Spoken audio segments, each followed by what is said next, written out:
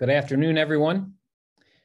Happy Friday and happy Earth Day. My name is Eric Eikenberg, and I have the privilege of serving as CEO and president of the Everglades Foundation.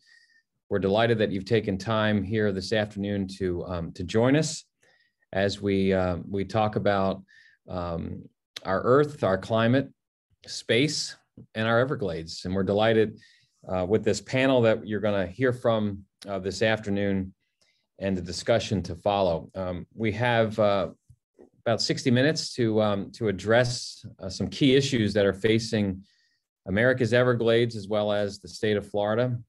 Uh, but I do want to just pause to uh, recognize the fact that this is the 52nd um, Earth Day. April 22nd of 1970 was the first. And um, a day that ushered in a number of changes uh, at the federal level as it pertains to um, the environment. We had the ushering in of the Clean Water Act, the Ever, uh, Endangered Species Act, uh, the creation of the Environmental Protection Agency, all happening in the early 1970s. But here we are now in 2022, and we have a number of challenges and opportunities to discuss, and we're excited about that. I'm uh, delighted to be joined this afternoon by, by three individuals. I first want to introduce the Chief Science Officer of the Everglades Foundation, Dr. Steve Davis. Steve, good afternoon. Good afternoon. Uh, joining Steve is Dr. Amy Clement. She is a professor at the Rosenstiel School of Marine and Atmospheric Science at the University of Miami. Amy, good to see you as well. Hi, thanks for having me. And finally, we're delighted to be joined by a retired, a real astronaut, a retired NASA astronaut, um, Nicole Stott. I had a privilege of meeting Nicole uh, during the COVID pandemic. We uh, haven't yet met in person, but we've been uh, we have met um, uh, virtually. I want to let our attendees know that Nicole is not only an astronaut, but she's an aquanaut. She's an artist. She's a mother. Um, and now she's an author with a book that's out, uh, Back to Earth What Life in Space Taught Me About Our Home Planet and Our Mission to Protect It. Encourage you all to check that out. Um, I'm sure Nicole would appreciate that. Um, Nicole um, served on two missions. Uh, here's a photograph of one of those missions where she was on the International Space Station. On August 28th of 2009, she was uh, on the Space Shuttle Discovery as it uh, took off from Cape Canaveral and docked uh, with the International Space Station. We'll say that she spent 103 days in space as an astronaut on the ISS. Um, she also um, blasted off on the 16th of November 2009 um, came back on Atlantis, and then she was part of the final mission of the Space Shuttle Discovery on February the 24th of 2011. Nicole, we're delighted that you're here, the 10th woman uh, to perform a spacewalk. And I might add, she was the first person to be participating in a live Twitter connection from space back in 2009. So you are a, um, a trendsetter of uh, uh, uh, certainly a, a, American treasure. Nicole, we're delighted that you're here with us today. Yeah, my pleasure to be here and um, happy Earth Day. Happy Earth Day. Um, in Florida, one of our best strategies to deal with um, the changes in climate uh, is Everglades restoration. Uh, we've been uh, restoring America's Everglades now for um, 22 years into entering into our third, heading into our third decade. Um, but as we're as we're doing that, we're also seeing issues uh, relating to flooding and sea level rise, uh, the cleaning of polluted stormwater and increased rainfall. A whole host of issues that we're experiencing right here in our own in our own state. So, Amy, let me let me begin with you. Um, you're at the Rosenstiel School, you're, you're studying this, you're seeing it, but what can you tell us on the changes that are already occurring? And what are those consequences? And more importantly, maybe what steps can be taken to deal with those consequences? Okay, thanks for having me. Um, got the Rosenstiel School picture behind us. We're the Marine School campus of the University of Miami um, out on Virginia Key. Um, I've been working there since 2001, and um, I came. I moved here from New York uh, at a time when um, I think there was a lot of, let's say, uh, skepticism about climate change, and that has all changed. And um, so let's just walk through some like the basics of what we know. So we know that um, we know that the planet is warming and we know that that would not be happening if it weren't for human activities. Um, if it were natural cycle at all we'd actually be sort of like starting to cool a little bit. So the the warming is due to humans. We know that with the warming um, we have sea level rise just through, due to the thermal expansion of the ocean warmer ocean but also due to the input of melting ice from the um, higher latitudes. So we we know those things are happening. They will continue to happen um, as long as we continue to burn fossil fuels at the rate we do. And we will also experience sea level rise, even if we can curb emissions now. So we have the, the reality on the ground here in Florida and in the Everglades is we have to deal with uh, sea level rise. We don't know exactly how fast it will rise, but we know that we know that um, the way that we talk about it in Miami-Dade County is not if two feet of sea level rise will happen, but when. Uh, so that's just a, I think, a basic reality we have to think about. We also know that these two um, facts that are very well established in, in the scientific literature that um, are changing our urban environment here in, in South Florida. We have are experiencing increasing um, sea uh, tidal flooding in the king tide seasons. We are experiencing increasing heat, uh, combination of a warming planet, warming oceans, and urban heat island effect. And we know that those two things are impacting the way we live here in South Florida and Miami in particular. And one other thing we talk about here a lot is hurricanes. Um, there's still some very important scientific uncertainty about how active the coming hurricane seasons will be. Uh, but the two facts that are well established are back to the warming and the sea level rise. We know that as the planet warms, uh, hurricanes produce more rainfall. That's we've seen that happening, um, and that will continue as long as warming continues. And we also know that the impacts of storm surge associated with a hurricane will produce more storm surge on top of a higher sea level. So those are the facts that we need to contend with in this complex environment where we live um, between the, um, the coastal environment, the urban environment, and then the Everglades. And um, it's a complex problem. Uh, Amy, you talk about uh, increased severe weather occurrences, um, rainfall, sea level rise. Um, you know, Steve, as as we're as the foundation and others are pushing strongly for restoration of the Everglades and the whole effort to redirect the way water flows on the peninsula. Um, speak to how restoration or moving water, sending water in the direction where it should go, how does that help uh, counter or balance some of the challenges that Amy has just outlined along the coast? Yeah, so th- those changes were, you know, that we're seeing in the, developed areas of, of the lower East Coast, we're seeing that as well uh, impacting the Everglades. Um, and it's important to know that we're connected to this ecosystem. A lot of people think of it as just Everglades National Park or that undeveloped area out west, or if you're on the West Coast to the east.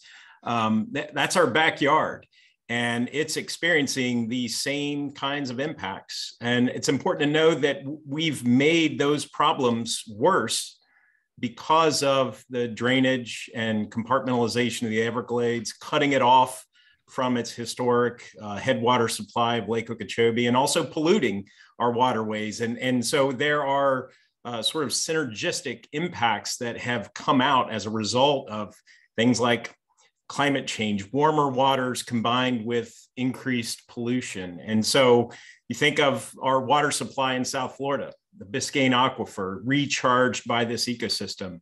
Um, because we've depleted uh, the flow of fresh water in the Everglades, that has allowed saltwater to intrude further inland, not only over land, but also underneath us into that aquifer. So we're seeing the impacts of that. Um, we're seeing habitats transition as a result of that. Mangroves moving further landward. Um, there's emerging research showing that the deprived freshwater flow in some of these coastal wetlands, combined with sea level rise and more frequent saltwater inundation, is leading to the collapse of those soils, actual land loss uh, around our coastline because of, of these changes and combined with the lack of freshwater flow. Warmer temperatures. Uh, Amy described uh, warming impacts in our urban areas. We're experiencing it in the Everglades as well. And it's not just the daytime high temperatures, it's also the nighttime low temperatures aren't as low as they were historically. And that has a, a, a very stressful impact on coastal systems, particularly seagrasses that uh, are dependent upon clear water and light to produce oxygen. And warmer water holds less oxygen. So as these waters warm, uh, it's more difficult for these seagrasses to get by uh, during the hottest months and the longest uh, days of, of the year.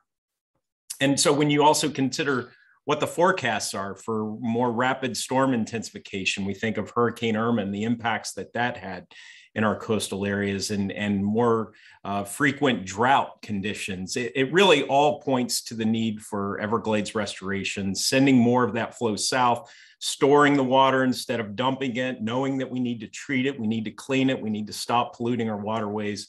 It's all pointing in the same direction in terms of dealing with these impacts. Well, we, we certainly um, we certainly uh, understand those impacts that you've um, that you and Amy both have outlined. Nicole, you know you're you're um, you're unique in the sense that you've had the privilege of seeing Earth um, from space, and you've provided us some really fascinating photographs. And if um, if we could throw the if we could place the the photograph of the Earth um, that you've provided um, I want to I want to take you back, if you will, to your um, to your days uh, in space, and certainly um, as a member of the NASA uh, family to this day. Um, what have um, what have Keely the, the the picture of the globe of the, of the Earth itself? Um, Nicole, maybe to tell us what you have observed. Uh, what changes have you observed? maybe when you were in space and certainly over these last number of years that you can that you can talk about?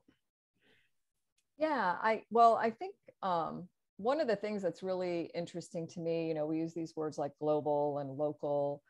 Uh, i think that in this image too i don't know how you can deny this when you look at this image which uh, is from that apollo 16 mission that was going on 50 years ago today where Charlie and John were, you know, walking around and driving around on the moon, doing their uh, their exploration there. And um, I think that you discover very vividly that global is really local, right? You know, it's so obvious from space that everything is interconnected. You guys have already used that word interconnected, and that we share a planetary home together in space. And and I have seen the planet and some changes from space. I think during our missions, which even at a few months duration, you can notice patterns changing. You can, you know, just see the the life of the planet itself kind of moving and um, and changing below you. This very vivid, uh, glowing presentation of the planet. And I think that's one thing to, you know, just to put out there too. I, I don't know about you guys, but I didn't find myself thinking about the fact that we live on a planet very often. and I think it's really important for us to do that, to have this consideration of the fact that we are on a planet in space together. And so even having and these are some images of Florida that were taken between the time frame of I think like 1985 to 2005 and I know that that you all are probably much better uh, in a much better position to identify the particular differences that we're seeing in these images. But we know that there are, are some there. And we are actively involved as Earth observers from space as the, as the crew on board, um, with our artificial satellites, you know, our robotic missions um, looking back at Earth.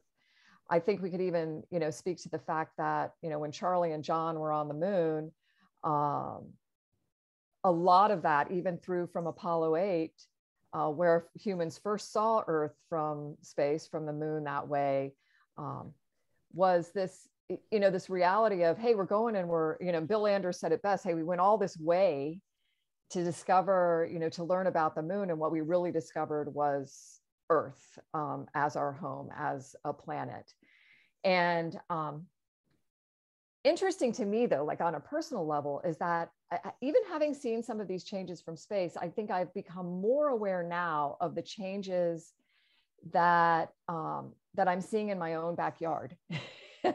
and more i think attuned to them more open to really acknowledging them and um, that's that's become more real to me the interconnectivity of it all you know uh, we've all had conversations before about things like red tide and um, you know I, look at it i've moved back to florida from houston and in the past five years i thought i think i've seen in the the canal the intercoastal canal behind my backyard more intense and more frequent red tide than I ever remember in, you know, my time before living in Florida.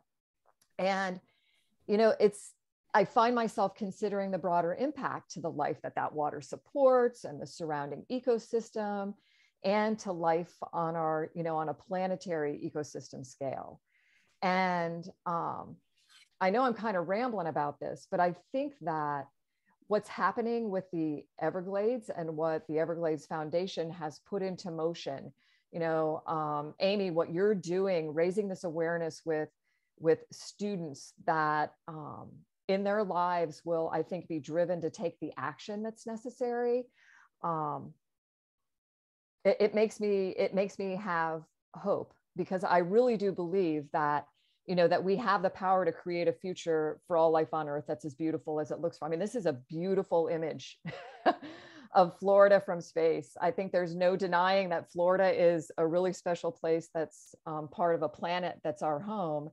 And even in that beauty though i think we could we could look at the picture and find the places where we need to be applying the solutions that we know we already have and i love that coming together like this i think we're encouraging that we're going beyond just raising awareness, but there's real action taking place as well.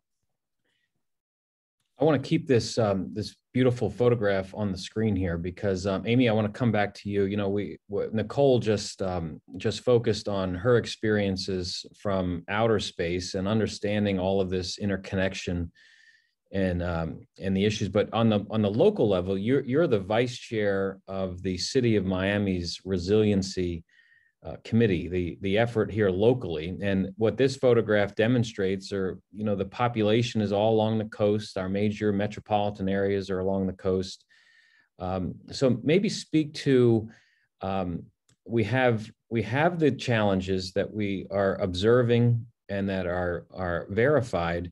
But then, how are local governments, and maybe in particular, what is the city of Miami, since you're a leader on that panel, uh, what are local governments doing to address these concerns?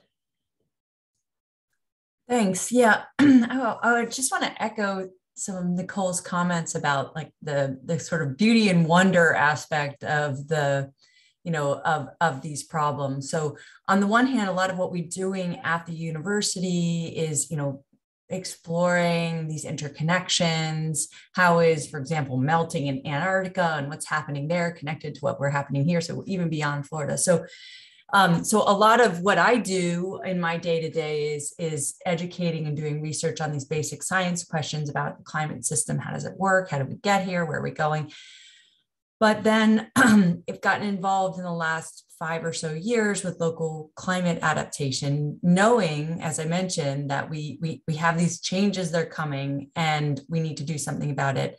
And the changes are unprecedented. There's no rule book for how to how to manage an environment, a unique environment like we have, a city, densely populated, rapidly developing, sitting on porous limestone with an ocean on one side and a unique ecosystem undergoing change on the other side in the Everglades. So what's what do we do? And I, I think the you know the local governments are all ready um, to with their resilience offices. They're ready to move forward with these problems. One of the areas where, as a scientist and researcher, I think we have um, a really, you know, important role and opportunity is to bring the expertise that we have to bear. So at the University of Miami, at Florida International University, and the other universities in the region, to um, to help answer these questions about what are we doing, or what should we do about this, and because there's no rule book for it, how do we know if what we're doing is working? And and how do we adjust if it's not? And so um, nicole mentioned making up you know visual observations of algae and channel and you know and canals around us. Um, and it's there's a really important role for scientists in the community to be monitoring what's going on establishing baselines. And and the reality is that is that there's a lot of data gaps. So you mentioned you asked what we're doing in the city and the county. Um, and there's a lot going on in terms of um, planning but a big part of what we do and um, in i have established a, a, uh, a research collaborative called the resilient, resilient 305 collaborative with tiffany troxler who's at fiu um, in, in what are we doing in order to support those actions that are being taken locally and understanding how they're impacting our environment and the community? And um, and then being able to adjust um, as things as things evolve. So I'll give you a few examples of um, what's happening locally. So this, the, the, the county, the Miami-Dade County um, has, a, has a, a, resilience office. It has a staff of an amazing collection of people with lots of different expertise. They've just added a chief heat officer, Jane Gilbert, the first of its kind in the world um, and t- so trying to come up with actions to and, and really it's in development. So trying what are the right actions to address the problem of heat and how it's impacting people? Um, you know is there are there green infrastructure solutions? Are there are there policy solutions? So those are all being developed. And then the reality is from our all of our municipalities who deal with tidal flooding that we're raising roads we're pumping seawater out of the streets. We're we're trying to catch up. Um, so on the one hand, trying to catch up with the changes that we're already experiencing now, but also planning um, for the the long term, um, really unprecedented changes that are are coming our way. And it, it's always a you know I think as a people in the audience are probably like, well, planning, you know, like let's do something.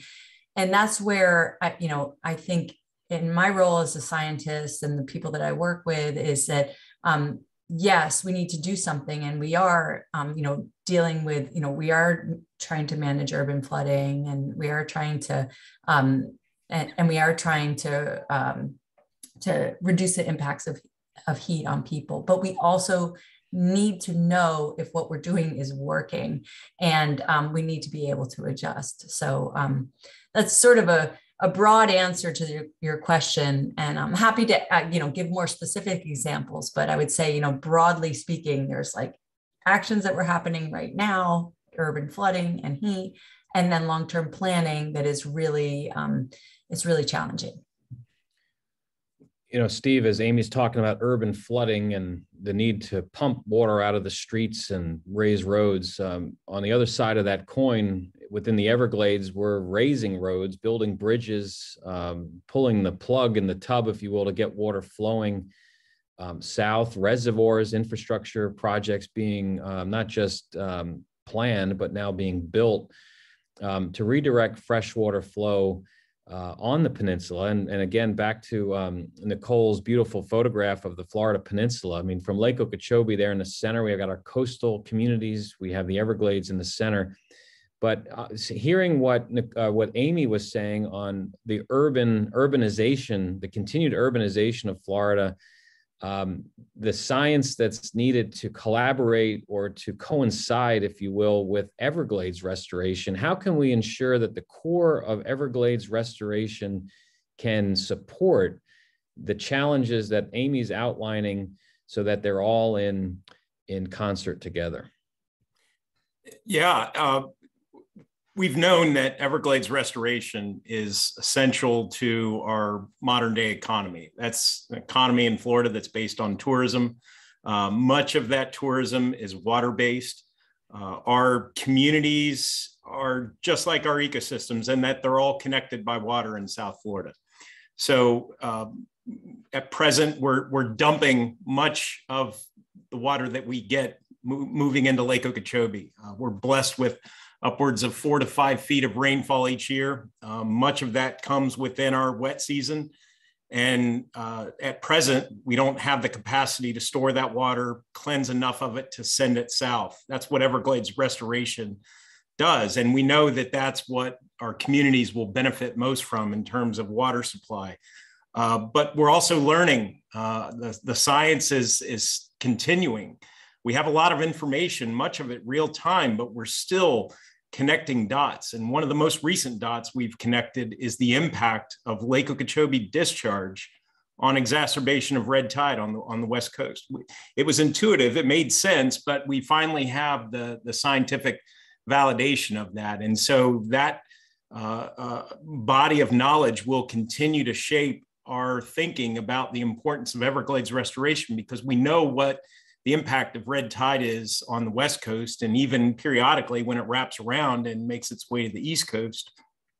We also know that uh, cyanobacteria, blue green algae, is a climate change winner. Um, it's one of those things that benefits from warmer waters, allowing it to outcompete other types of algae, uh, especially in high nutrient conditions. Um, and, and we know that lake discharge to the east and west coast uh, can uh, expand the impact of toxic blue-green algae, which also affects our communities and potentially human health.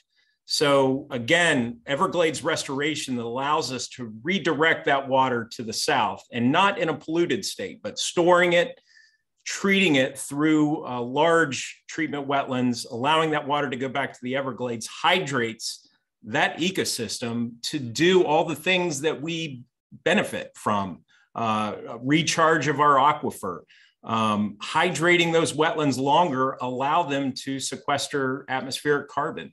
So there's, there's a, a, a benefit in terms of mitigating climate change by restoring this ecosystem, as well as all the habitat benefits and uh, sending clean water south, get us going all the way to Florida Bay.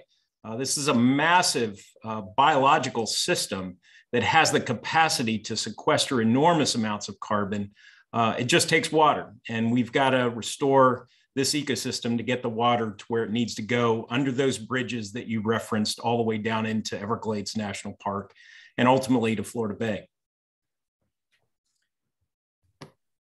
Nicole, you've um, you've heard Amy talk about the local efforts that um, cities like Miami and the Miami-Dade County are undertaking. Others around Florida are doing the same. Steve just highlighted um, some of the state and federal actions that the Army Corps and the Water Management District are doing with infrastructure, but your experience with NASA in particular, maybe speak to us on what that agency is doing to communicate the challenges that are affecting our planet, our Earth, um, and and and what is the agency doing to uh, to help address them? Yeah, and I'm I'm very thankful for the the information that um, Steve and Amy have passed on here because I, I found myself thinking, you know, like the three R's: the reduce, reuse, recycle. I kept I kept thinking about that. Why why isn't that what we're doing when it comes to like urban development? Um, why does it always have to be an expansion and not just a you know reduction first of all or reusing what we have recycling whether it's a building or an existing development and i know that's not in response to your question but i just had to throw that that that's i'm always thinking about that. Why does it always has to be new and expansive? But um, from the nasa standpoint you know i think it's really cool that in one way or another i think nasa has been involved um, in certainly raising awareness and supporting solutions to climate change and other planetary challenges from the very beginning. And um, Erica, as you mentioned at the very beginning with, you know, Earth Day and this association with um, the formation, this whole timing kind of association with the formation of the EPA and the establishment of Clean Air and Clean Water Acts that all fell, I think, even if it's indirectly as a result of us witnessing ourselves as a planet in space, that 1969, you know, or 68, I guess, iconic image of, you know, of Earth rising above this other planetary body, you know, the moon, you know, witnessed with humans' eyes for the first time and shared um, with us. I think that that impact has been really huge, this perspective of who and where we all are in space together. Now, I guess um, I look at in more recent times, you know, NASA's role in, you know, communicating this, but also providing data that supports the, um, you know, the, the solu- implementation of solutions, understanding where we were, where we are, where we predict, you know, that we're going on a particular trajectory with certain, you know, certain criteria in place um, and understanding that. I think about what we've done with the International Space Station program and as this mechanical life support system that we've built in space as an international community, right? Um, we've built it in space to mimic as best we can what Earth does for us naturally, right? We, we know every day as a crew on board that space station, there's a really, I, I mean, I love this image. I, I think it's like this masterpiece hanging in space. And um, on, on board that facility, we know as a crew that every day we have to be acutely aware of how much CO2 is in our atmosphere, of how much clean drinking water we have, of the integrity of our thin metal hull, and absolutely aware of the health and well being of all of our crewmates. And so for me, there's no better example, you know, through this NASA and international cooperation with other space agencies around the world of how we should be behaving like crewmates down here on Spaceship Earth. And I know that seems like kind of this high level, maybe kumbaya kind of um, way of thinking of NASA's participation in all of this. But I, I really believe it's like these, these simple lessons that it's put, you know, the reality of how we can peacefully and successfully overcome really complex challenges, like getting out of gravity to, you know, just out of this hold that gravity has on us of living and working in space even for a short period of time with that deadly vacuum of it surround, surrounding us. And then you know coming safely home. Those we have it in us to overcome those challenges. And i think through the nasa programs like the space station where the humans are you know intimately involved we see this need to accept our role as crewmates. And that's what i think all of you know all of what's happening at the everglades foundation. Amy what you're doing at the university and with your partnerships these are people coming together as crew you know on on this spaceship you know um, spaceship earth. And it's a much different reality than living like a passenger. And because if we live like passengers on board the space station you know we wouldn't survive and we certainly wouldn't thrive there. And i think the same is true here. Now i think there's been this urgency since the beginning right? I mean for as long as i've been alive eh, you know maybe climate change weren't the words that were being used but um, you know it's been there. And um, and perhaps for as long as we've been able to witness and measure the impact that we as humans are having on our planetary life support system even locally even before we understood global that this was going on. And where i hold hope is that we know the solutions exist to this right? Um, so behaving like crew is this key to us really making those the, the reality of those come to life. Um, the, you saw the motto of the International Space Station program on, on that picture, which is off the earth for the earth. Everything that's being done there in one way or another is ultimately about improving life on earth. And that includes observation and measurement of the vital signs of our planet, providing that information to you and others who need it to understand and solve the problems, and I think that's going to con- continue with crew members doing that, with satellites as Earth observers, and um, and it's just going to become more and more uh, available um, to allow us to to really take the action that's necessary. And I think when you see something like this, you know, kind of in contrast to that beautiful image of Earth as a planet in space, you know, you can't again, you can't deny it. This like it, it helps us make a connection, establish a relationship to what is happening on earth and it certainly helps us look at earth as this living being itself as well that we you know that we are a part of and Um, this one I love because it really, and it says it right at the top, you know, watching the earth breathe from space. Holy moly, you know, uh, the inhaling and exhaling of the planet. And that's pretty cool to see. And all that red and blue tells us where um, the good and the bad stuff is. And we can use that information to, to solve the problems we have. Well, I must say, um, we love having you part of this panel because you've brought some great pictures and graphics. Um, I, a rambler, gonna, though. I, I, don't, I, you know, it's ramble fest for me because I love this topic. I, I was going to mention to our um, to those that are uh, watching and attending here to uh, if they had questions to do put them in the chat we did take we do have one carol we appreciate your your question i'm going to throw this to amy um, the question uh, that i think folks can see how do you anticipate the huge amount of people who are who are here and will move to florida and how will that affect freshwater availability?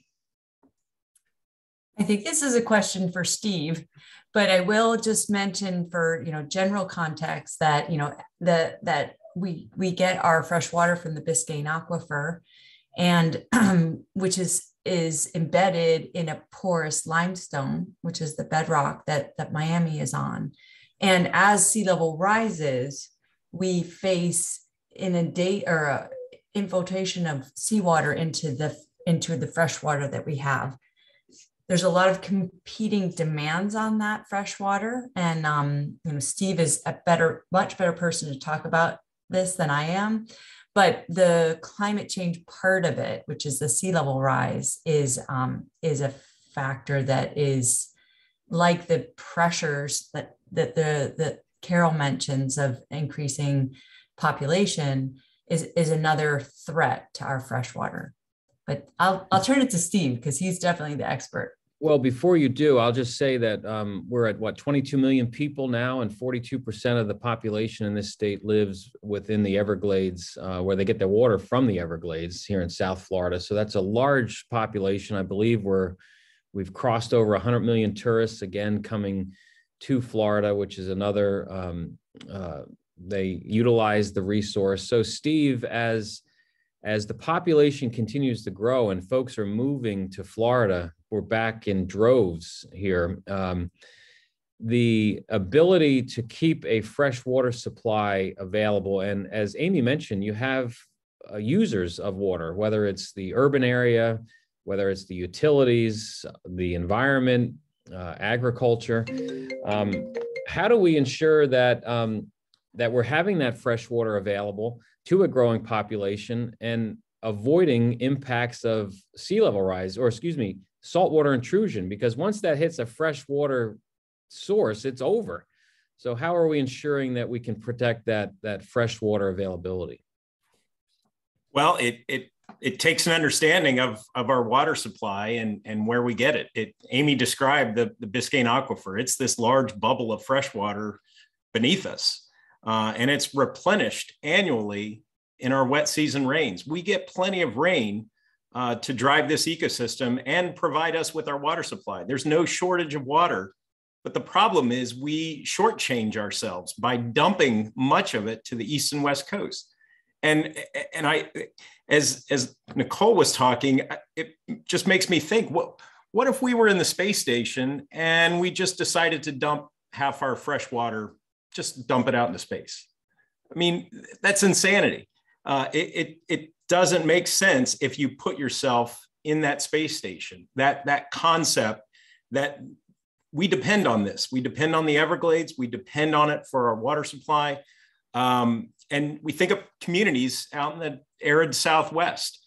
What would they do to have that fresh water that we pollute and dump to tide, not to even mention the impacts that it has on those communities with blue green algae and now with our understanding of the impacts on red tide. Uh, we know the solution. We know the solution. It's it's store that water, clean it, send it south. Uh, that's Everglades restoration, but it's much bigger than that. And we need to recognize that we're all uh, all, all, 9 million of us in South Florida are in that space station. And this is our water supply. This is our habitat. This is our ecosystem. And we depend on it. Why not invest in it?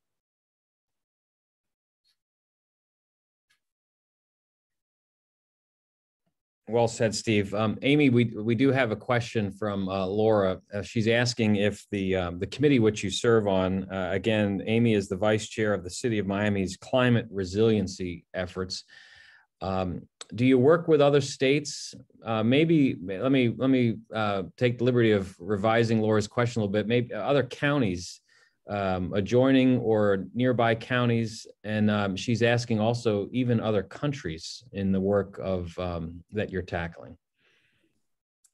Yeah, th- that's a great question. Um, we're and obviously in South Florida, not alone in facing sea level rise and heat and hurricanes.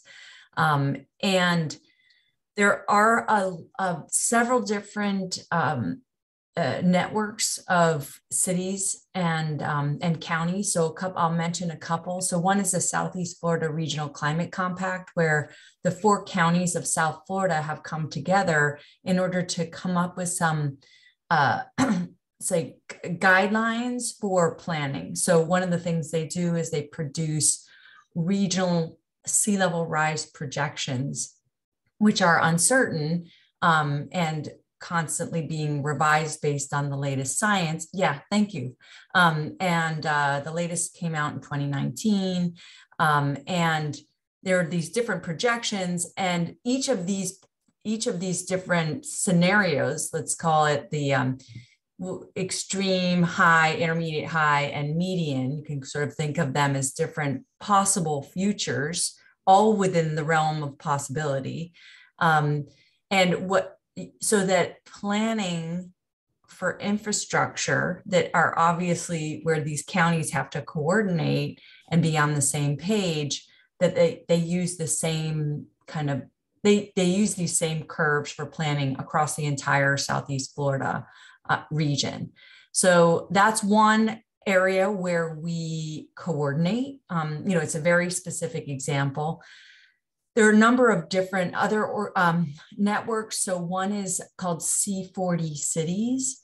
Um, I can put it in the chat once I stop talking.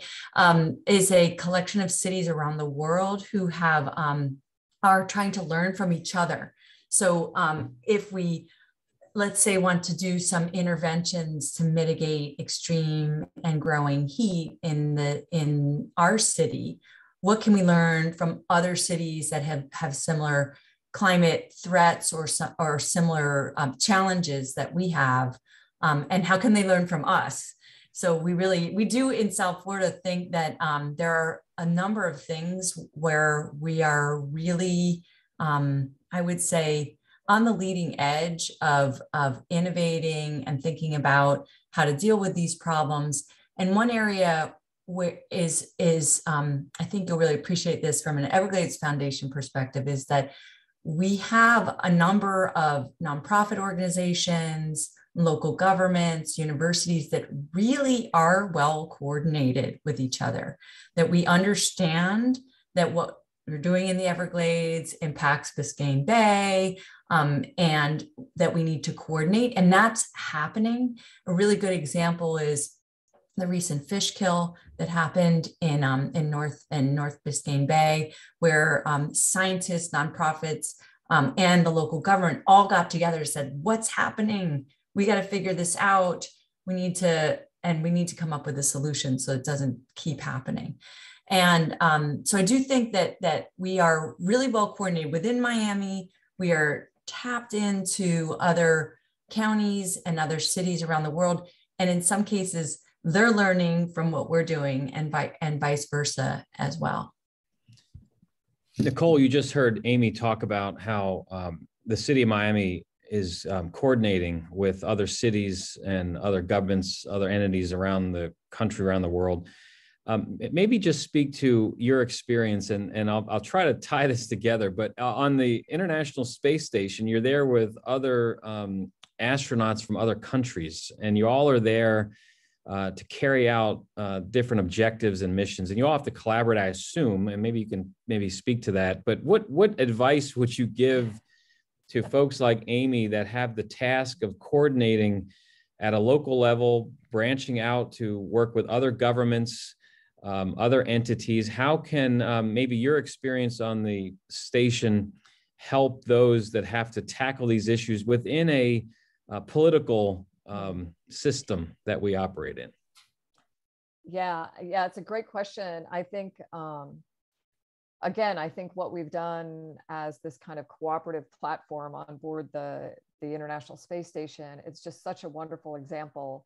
I mean, if you think back, so over 20 years now, we've had these um, the the five uh, international space agencies. So the U.S. with NASA, um, Japan, Canada, Europe that has like 11 of those countries, and then um, Russia, all partnering on this this platform. And um, and somehow, you know, we've done that peacefully, successfully in this time. When you look at the people in this picture, and you do see the different flags. Uh, the only one rep- not represented in this picture is Japan, though as a crew, we are representing the, the Japanese Space Agency as well um, with the work we're doing on board. But it's not like, you know, those of us with the, the American flag can only go into the US modules and the Russians are only down in the Russian module. I mean, it, like they were all separate. We are one crew on one space station with one commander at any given time and then with the tens of thousands of people across the the agencies supporting us from you know from here on earth to make this all possible i think it goes back to the beginning of it really in and it sounds like you know amy like you guys are already working this way. You're you're not closing yourselves off to the involvement from other universities or other counties around the state of florida or even perhaps extending at some point to you know kind of statewide state to state kind of things and maybe even to you know other countries um, participating in in what you're doing with the the work that's going on as part of the committee that you have. Um, i think that's what makes the space station so great and the partnership so great is that we all came in with this overarching mission. And you can use off the earth for the earth as that mission um, for the space station you know that's at one level. But ultimately it was about how are we going to work in space together on this laboratory share the the work that we're doing do that as one crew and um, provide benefit back to earth as a result of it um, for the challenges that we all have there as well as how do we explore further off our planet. And I, I know it seems really simple but i think it's happening in the, the way amy describes this is that you're all going in with a common mission and figuring out how you utilize the strengths that each of you have in a way to address the problems that you're you know you're working on. And acknowledging this is even harder because we do this as crewmates too individual crewmates acknowledging that you might have weaknesses too right? Big deal to to say okay we might not be doing this so well in this one part of the state and those folks over there they might be really awesome at it already have it. How do you pull that stuff together? And we do that at every level within the space station program. We are doing that crew member to crew member.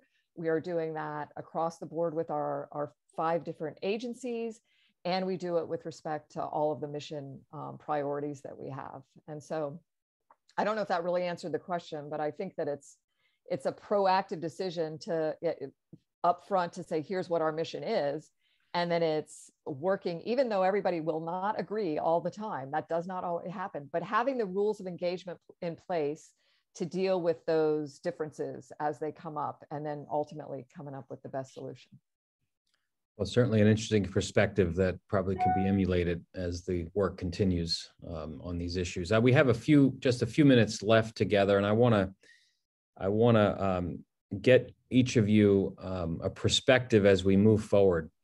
Um, we have uh, Everglades restoration. Uh, when it was signed into law in 2000, it laid out a 30-year plan to restore America's Everglades. So we are in a decade where we see big projects that are being um, built and the effort to, as Steve has described, redirect the flow of water on the Florida Peninsula. So I want us to look forward to the 60th anniversary of Earth Day. Maybe we can all gather back together as a panel. But in the year 2030, we'll celebrate 60 years of Earth Day and 30 years of Everglades restoration. Um, Nicole has mentioned the word hope a couple of times here in her remarks. I know the foundation I think I can speak for Amy in the sense that there's a great sense of optimism, um, along with a sense of urgency. So, what to each of you, maybe for 60 seconds each, um, where does that hope or that optimism um, come from to you individually? And what do we need to be doing as a collective community to achieve goals uh, in a short term um, to see benefits for our Earth and our planet with an understanding about the year 2030? Uh, we hope to have great progress. So let me, let me, Nicole, why don't you uh, kick that off for us as we close? Sure, happy to. It's like my the my least favorite question. Where do you see yourself in five years? That one. Um, but I think I think that for me, the the hope does underlie it all, right? Um, I've been fortunate enough to participate in conversations like this one today with people that I know are actively actively working to implement the solutions that we need you know to these problems. I've seen it happen in space in a way that almost you know seems unimaginable. I'm hoping that we continue to utilize the space environment as a way to lift some of the industrial issues we have off of this planet to utilize that benign environment of space to provide us with you know solutions to these um, these problems that we have here on earth i am very hopeful that we will continue to broaden this um, approach as crewmates and not passengers um, here on this planetary spaceship. Uh, again, through conversations like this, I see more and more of that happening. I see our young people in schools wanting to know how what they're going to study is going to help um, make life better for everyone that we share this planet with. And um, my, I'm hoping that in 2030 we'll be looking back and Steve will, and you guys will have completely redirected that water and um, and Florida will not be dumping. you know, we won't have to be dumping that clean water anymore, and that will be in a stage of of revitalization that's encouraging to everyone else around the planet as well.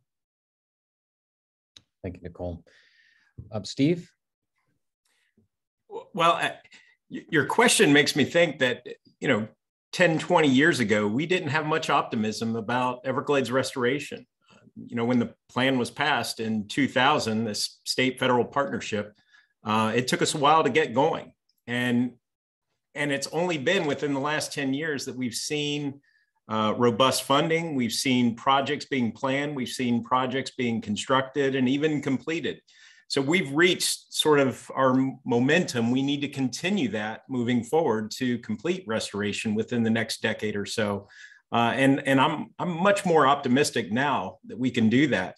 Um, thinking about the, the global issue, I, I, it's almost analogous. Um, we're, we're still building up our speed and we're seeing much more in the way of, of communication, effective communication that's resulting from the great science. Science is at the heart of all this, right?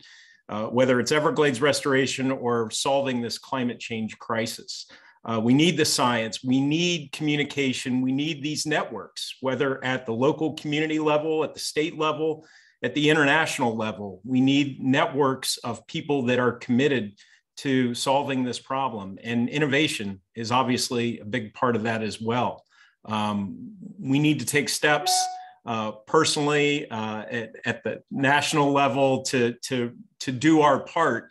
But in some sense, we're going to be relying on innovation uh, moving forward. And obviously, science is at the heart of that as well. So um, I, I, think just staying the course, we're, we're seeing uh, effective communication on the topic. More and more people are being exposed to this. More and more people are accepting that it's that it's a problem we need to do something about. So um, I am optimistic, and having a, a, daughter who's concerned about this and thinking about it, uh, I, I, know that that generation is going to do their part uh, when we hand the baton over to them. Amy, you're in the classroom uh, and and educating that next generation. Um, your closing comments, please. Well, I I love both of the comments by Nicole and Steve. I um, I think that uh, and and the optimism. I love to hear that, Steve, that you've been that you've turned from being skeptical to optimistic about the Everglades restoration. That's really exciting. And um, Nicole, I love the comments about the crew. And um, one of the things that um, I think as a, as an important takeaway that is something everyone can do is that research on communication shows that um, it's it can be very difficult to motivate people to take actions. But the one thing we know that works is is when you hear about issues from people in your circle. Um, that actually works to motivate people. Um, the example is with with hurricane predictions. So um, you know you're getting all this information about a hurricane, but when do you decide to do something about it? When you talk to your neighbors and you see that they're doing something about it. And so one thing everyone here can take away is um, is is talking to your family, friends, your your networks about these issues. And I see a lot in the chat about um, about fossil fuel emissions. And um, as much as we have, you know, are faced with the problem of adapting to climate change, we have to do something about reducing fossil fuel emissions because the kind of changes that will happen if we don't are are beyond what we can imagine um, and, for the Everglades, for South Florida. Um, and so we really have to turn that around. So talking to people about climate change, being driven by fossil fuels, um, and that we need to encourage, we need to elect leaders that are ready to move on this. And we need to um, we need to encourage those in leadership to, to develop policies that will support a transition to non-fossil fuel-based energy supplies. Um, and you know it will be a transition, so it's you know not going to happen tomorrow. But if we don't start today, then uh, we're just kicking the can down the road. So I really see an important role for for everyone in um, in this you know kind of collective action of uh, and I will just reflect back, Eric, you asked about students, um, the next generation. Steve mentioned his daughter, that um, people are very motivated. I think they're re- they're ready to um, change the way they live, and they they really want to be able to um, to uh, to turn things around with climate. So it's not a tough sell, for the for the for the younger people but we need to um you know we need to get everybody on board with um with uh changing the way that we we use and changing the way we produce energy and changing the our interaction our understanding of the environment and the consequences of of all of these of human activities on our environment. And with that um, that concludes our Earth Day discussion. I want to thank uh, Dr. Amy Clement, uh, Dr. Steve Davis, and Nicole Stott for um, joining us here on this 52nd anniversary of Earth Day. Uh, a wonderful discussion, not only about um, the challenges that we face, but also the opportunities that lie ahead um, and the importance of restoring America's Everglades. Those that you're still with us, if you have any um, questions or would like additional information, do go to evergladesfoundation.org. Um, you can um, see uh, materials there. Also, you can sign up to receive updates from us on the progress of, um, of the mission. And um, we wish you all a wonderful afternoon and happy Earth Day.